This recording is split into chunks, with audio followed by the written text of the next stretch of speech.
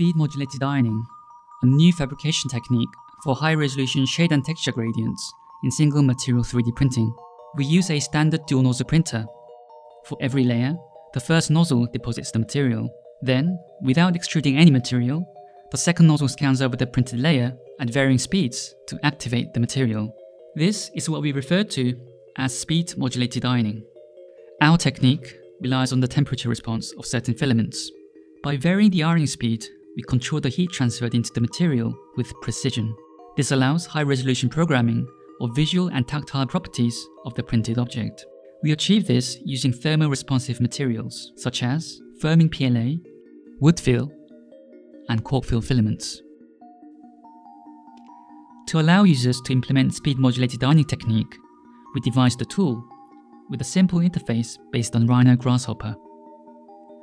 With this tool, users can choose one of the preset material settings or define custom settings in the advanced mode.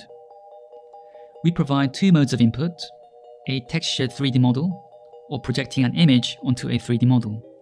After generating the G-code, the ironing paths and the texture of the object can be previewed. The color of each segment also represents the corresponding ironing speed. With speed modulated ironing, we can obtain a large range of color shades and apply high resolution images on prints. Similarly, we can create texture variations, such as different levels of roughness and reflectivity.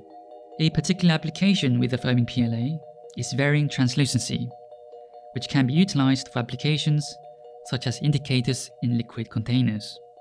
Speed modulated ironing represents a step towards a more versatile, expressive, and sustainable form of 3D printing and opens a new direction for multi property printing.